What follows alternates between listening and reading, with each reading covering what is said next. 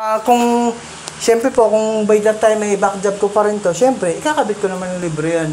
Pero po pwedeng yung ginawa ko ngayon na to, pwedeng tumagal ng taon na yan. O hindi ko rin alam, ganun po yun.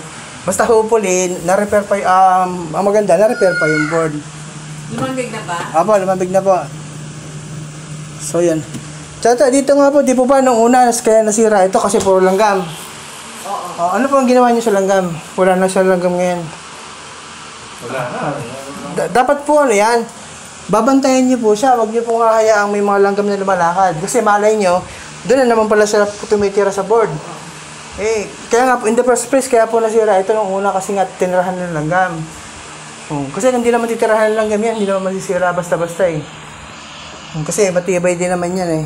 Dapat abutin niya ng mga 7 to 8 years, 9 years bago masira dapat.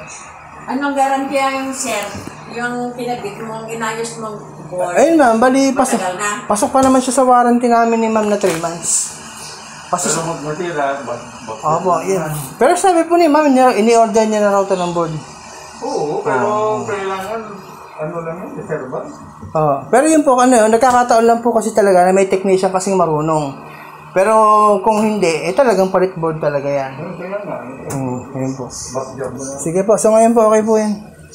Ano nga kung magsira, masira ma, nang naman uli, bagyab. Opo, yung within 3 Eh, months kayo ma'am na na ako. mag-usap yung anak ko. Opo, okay po. Basta ngayon po, umandar na siya ngayon. Yan, okay na po ulit yan. Salamat. So, for, for the second time, yan, na-repair pa naman yung board niya. Kita niya, walang gastos na na-repair.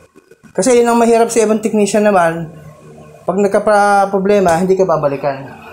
Yun, Salamat sa inyo, sir. Ah, kita niya. Ano, isa't Eh, kalahati. nakabuk, eh, nakabuk ka naman sa kanya eh. Eh, kung sakali, kailangan Ah, ka. isa't kalahating buwan yata ito, inaabot ano, bago nag nawala ulit. Yan, hopefully, pwedeng tumagal na ulit siya ng taon. Siyempre, hindi ko lang din masasabi yon. Depende rin sa buhay niya talaga ng board. Yan, okay na po yan. Kung masira, board na naman ang ano, yung... Ah, yun naman po in the first place yung nagka-problema rito. Meaning talagang nagka-problema na yung board kasi nga natirahan ng langgam. Nagawa, nagawa ko nung una. So ngayon, parang natulog na naman yung board niya. Na-repair na naman ulit. Yan. Na. Mahala kayo kay anak ko, Apa. mag-usap. Parang I-test ko rin po si ma'am.